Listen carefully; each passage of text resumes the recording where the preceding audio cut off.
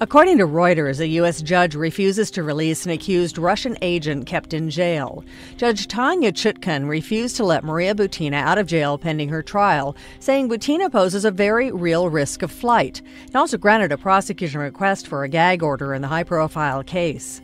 Chutkan imposed a media gag order after prosecutors accused Butina's defense attorney, Robert Driscoll, of violating court rules by speaking publicly about the evidence in ways that could taint the jury pool.